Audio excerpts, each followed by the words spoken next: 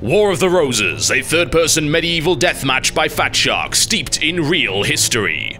Chivalry, a first person medieval combat game by Torn Banner set in a fictional realm. Which is deadliest?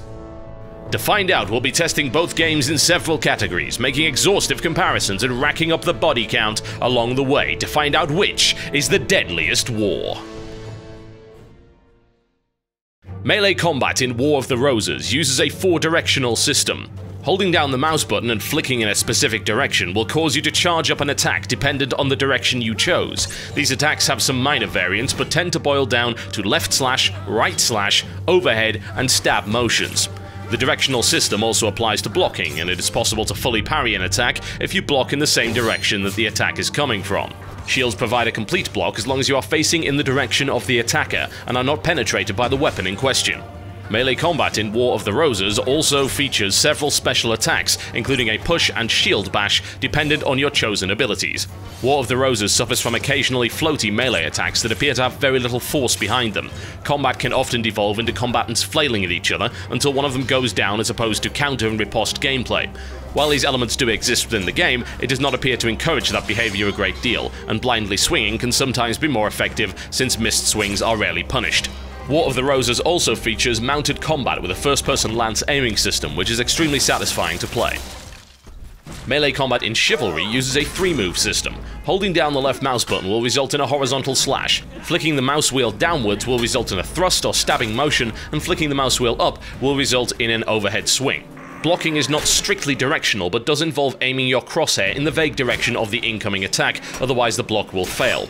Shields, needless to say, are more effective in this regard, Kicks can also be used to break blocks, and there is a specific button that you can use to feint out of an attack and immediately follow up with another. The game features a combo system where a rapid set of inputs will ensure a smooth series of attacks, one after another.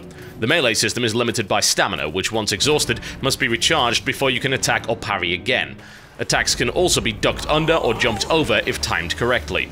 Attacks have significant weight behind them and missing is severely punished. Significant friendly fire damage also discourages wild horizontal swings, since you cannot charge your strike and hold a specific stance, timing is extremely important. Both games focus on melee combat, however I feel Chivalry does a better job of putting real weight behind each attack. The combat system initially appears simpler than War of the Roses, but has a great deal of depth and advanced combat techniques. While both games allow you to feint and cancel out of an attack, Chivalry appears to do it significantly better, with a specific key dedicated to the purpose and less reliance on charged up attacks in order to do damage. The lack of a charge up mechanic within Chivalry benefits the melee system because it increases reliance on well-timed attacks, and gives the melee combat a more fluid and natural natural look. War of the Roses suffers in this regard, with players often seen running around with their weapons held at odd angles, strafing in circles preparing to strike. This contributes greatly to the floaty and non-committal feel of the melee combat. War of the Roses does have mounted combat, which adds another facet to the overall system, and its mechanics are well executed and satisfying. However, for the man on the ground, one game is clearly superior. War of the Roses features a separate system for bows and crossbows. Bows feature a charge system which represents fully drawing the string.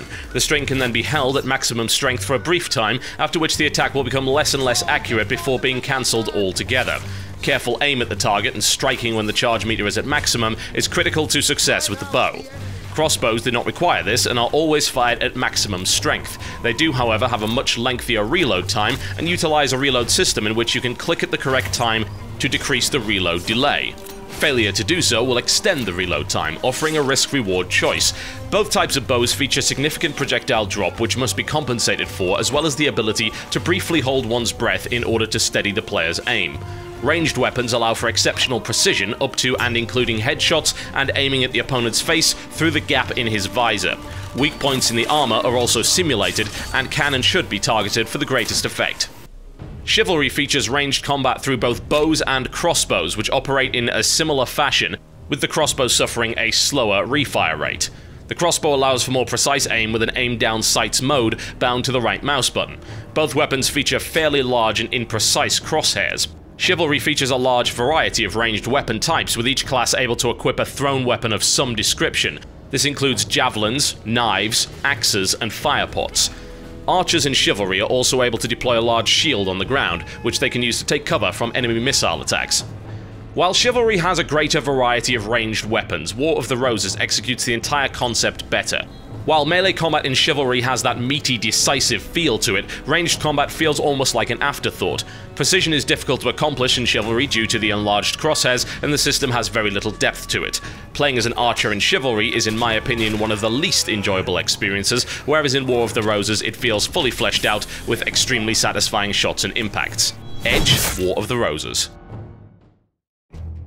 War of the Roses is based on the actual War of the Roses, with weapons and items from that time period. The maps themselves are based on real locations, such as Bamburgh Castle. War of the Roses also has a number of elements to its combat that are fairly realistic, including very precise locational damage, which takes into account armor on that specific part of the body, as well as the effect of the type of helmet and whether the visor is open or closed. It has a number of different weapon types designed to overcome various types of protection, such as armor-piercing arrows and blunt weapons, as well as different historically accurate weapon materials, bevels, and edge grinds. War of the Roses also features bleeding and hamstring mechanics to account for the fact that battles take their toll on more than just the health bar. Weapons and targets also have accurate hitboxes, which include weapons with a wooden shaft, only doing significant damage if you're able to connect with the actual head of the weapon. The shaft itself can also strike the target with negligible effect, and the distance between the player and the target must be carefully considered, as it would be with a real polearm. Chivalry features varied and realistic objectives rather than merely team deathmatch, giving players a mission and a purpose. Its stamina system accounts for the fact that you cannot just keep swinging without getting tired, and that precision strikes were important in one-on-one -on -one melee combat. The inability to charge up and hold an attack in place provides for a more realistic looking melee. Both games suffer on the realism standpoint. War of the Roses falls down on execution and the revival system, which allows a player to be repeatedly stabbed over and over again in the face, yet be almost instantly revived as long as the execution animation is not allowed to finish. Its squad-based spawning system has players appearing out of thin air, whereas Chivalry makes an effort to actually hide the spawning locations from view. It's also bested by Chivalry's melee system, taking into account the weight of the weapon and the fact that swinging wildly in full plate with a large heavy weapon will quickly tire out the wielder. Chivalry, however, is set in a fictional world, and while it does use actual melee weapons from the medieval period, it cannot keep up with War of the Roses' authenticity and attention to detail, which even extends as far as to lengthy, historically accurate descriptions of every item and customization in the game. Edge, War of the Roses. War of the Roses can be pretty brutal at times. It has an execution mechanic which involves a lethal death blow with very little time for finesse. Executions include multiple stabs to the neck and face, a shield blow to sever the neck, and a sword thrust straight through the victim which is then twisted while still impaling the poor sod. Executions are seen from a first-person perspective by the victim, which is not exactly pleasant. Solid hits also reward the player with a spray of blood. Chivalry excels in all aspects of brutality. Its first-person nature forces players to get up close and personal with their targets, and the entire game is in your face. Chivalry features the severing of limbs as well as full decapitations accompanied by blood-curdling screams. Players are also able to set their targets on fire with accompanying wails of agony from the unfortunate victim. The melee combat system is brutal and to the point. Targets take very few hits to go down, and there is no mercy at any given time. Chivalry doesn't pull punches on the objectives either, which involve burning fields and granaries, poisoning village water supplies, slaughtering entire royal families, and even a level where one of the objectives is to kill the filthy peasants. While War of the Roses presents a bloody war, it also feels sanitized in places. Players can beg for mercy, and this is a key mechanic of the game. Executions may be brutal, but the bodies remain intact, and there is no severing of limbs or the taking of heads. Its third-person combat system and floaty melee also serve to disconnect you from the heat of battle, allowing you to stay aloof from the carnage, failing to fully immerse you in the horrors of medieval warfare. Chivalry gives no quarter at any point. There is no escape from its brutality, your objectives are often bloody, morally ambiguous, or downright evil. Battle cries and blood-curdling screams echo the battlefield, and mangled corpses litter the floor. War of the Roses cannot compete with Chivalry when it comes to sheer melee brutality, and quite honestly, I don't think anything can. Edge Chivalry.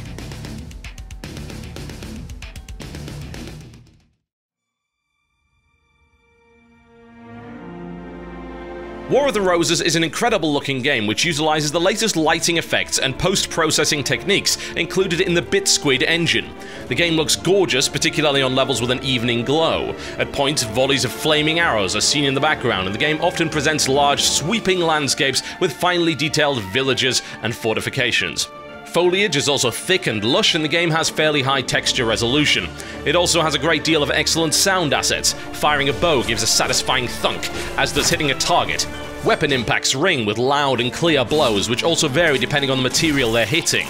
Menus are well laid out and properly explained, and the whole product oozes polish across the board. Chivalry is a reasonable looking title that uses the Unreal 3 engine and is a big improvement on the original Age of Chivalry mod for Half-Life 2. It has a gritty, grimy look to it, which is appropriate considering the carnage that the game offers. Animation quality is high, which makes melee combat look particularly good.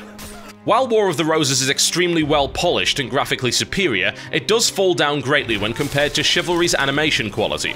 Good animations are key to any game that involves melee combat of any description, and War of the Roses is found wanting in several areas. Chivalry, on the other hand, does not have the same high quality assets found in War of the Roses, which quite frankly looks gorgeous at times. Texture quality is middling at best across the board, and you will not find the same amount of graphical detail that is present in War of the Roses. When it comes down to engine comparisons, both engines have a couple of interesting issues. The BitSquid engine seems to have rather odd foliage pop-in, which involves foliage springing out of the ground at a certain distance, and the Unreal 3 engine is limited to 90 frames per second in multiplayer, which will be bad news for those who use 120Hz monitors. All engine issues aside, despite its animation weakness, War of the Roses gets an edge in presentation. War of the Roses features a rather in-depth customization system which includes both cosmetic and loadout choices. War of the Roses has the ability to customize your individual coat of arms, which will appear on some armor pieces and shields as well as plumage on your helmet. You can also unlock various armor colors to make your soldier look as unique as possible. On the loadout standpoint, the game is extremely in-depth, providing many separate options for each weapon, including ammunition types and reload systems for bows, as well as edge grinds, materials, fighting styles, shafts, pommels, and more for melee weapons. War of the Roses currently features 31 weapons, with 7 more to come in a forthcoming free content update, each of which can be customized to a greater or lesser extent. The game also offers a variety of horses to choose from, each with different characteristics in both unarmored and barded variants. War of the Roses also features a perk system, allowing two perks in five categories to be selected which directly affects the abilities of your character. Some allow for different weapons to be used, others unlock combat moves, but most simply provide a boost to a particular aspect of your character. The game allows for five different custom loadouts to be unlocked and used at any given time, along with four default classes. Provided you have the correct perks, you can mix and match pretty much any armor, weapon type, and fighting style, with the exception of horse archery, which is not included in the game. Chivalry features a bewildering arsenal which currently includes 36 primary weapons across four classes, as well as around 9 different secondary weapons with class overlap. It also contains a handful of special items such as smoke bombs, fire pots, throwing axes, and knives. Visual customization is limited to a choice of helmet, of which there are currently two in the game, the default and the special Kickstarter reward. Chivalry has four classes, the Archer, Man-at-Arms, Vanguard, and Knight, each of which comes with default characteristics and armor sets which cannot be altered. Players are able to choose a primary weapon, a secondary weapon, and a special item. All primary weapons are class specific, secondaries have some class overlap, as do specials. Each class will always have a particular special that they can use which no other class has access to. It's clear that while Chivalry has a larger arsenal than War of the Roses, it is defeated in every other aspect of customization. Fatshark went to great lengths to ensure that you can make your soldier as individual as possible, with the coat of arms system providing a great deal of cosmetic customization. Neither game allows for cosmetic alteration to weapons or your actual character's face, which is quite a disappointment. Chivalry limits your equipment based on your chosen class, which means while all four classes play very differently, you're given only limited tools to customize your character to your liking. Both games utilize a level-based unlock system, though the majority of War of the Roses items and customizations are unlocked via in-game coins you earn by playing, with only a few items level restricted, whereas Chivalry level restricts the majority of your arsenal from the start, but the items are automatically unlocked for you once you reach that level. It isn't even a contest. War of the Roses gets the edge in customization.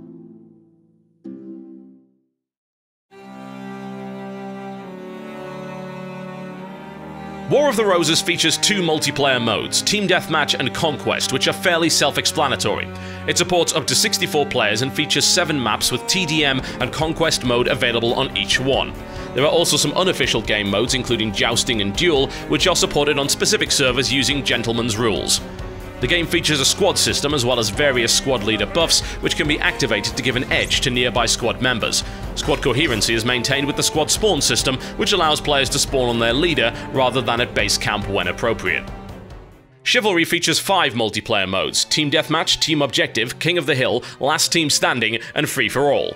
These modes are fairly map specific, with some maps being restricted to only certain kinds of play. The game currently features 6 maps and supports up to 32 players at once. Team Objective has multiple tiered objectives and uses large maps broken up into stages to support it.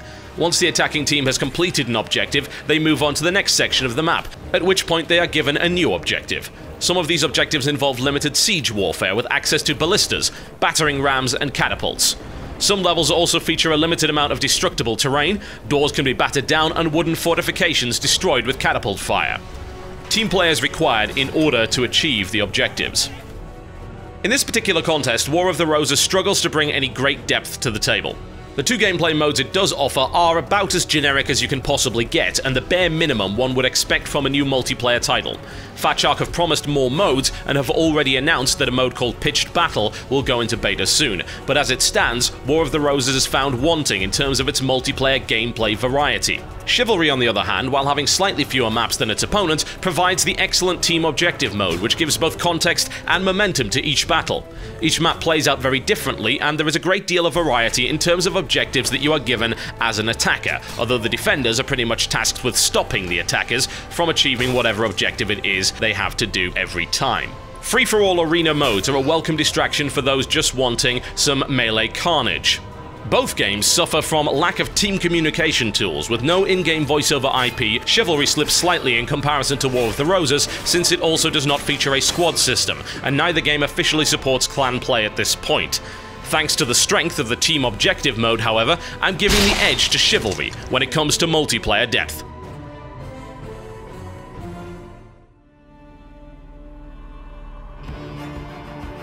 War of the Roses will set you back $29.99 or your regional equivalent. It also offers the House of York Special Edition, which comes complete with some bonus unlocks and the official game soundtrack. A 4-pack of the game is also available for $89.97, which saves you $7.50 per copy of the game. The first free content update has already been announced, which includes 7 new weapons, a new armor set, and a new helmet. A winter content update will include 2 new game modes, 2 new maps, and a snow weather mechanic.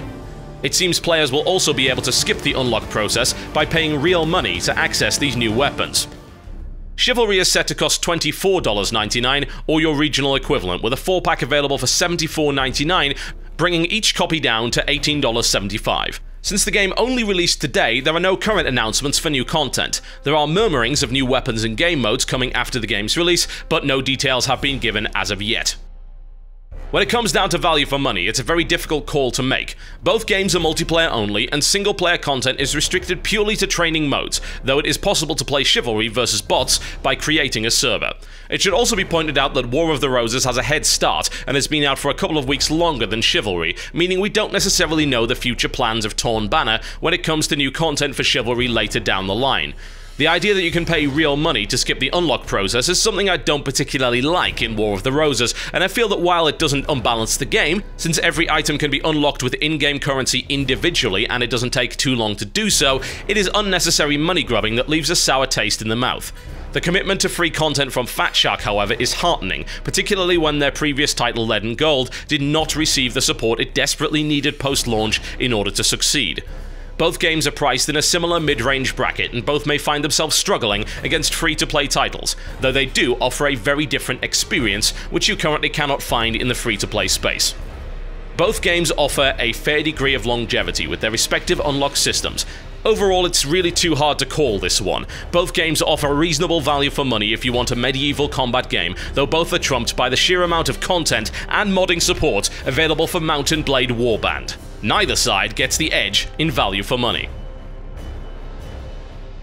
So to recap, Chivalry started off strong with solid melee attacks, but War of the Roses struck back from a distance with its excellent ranged combat mechanics.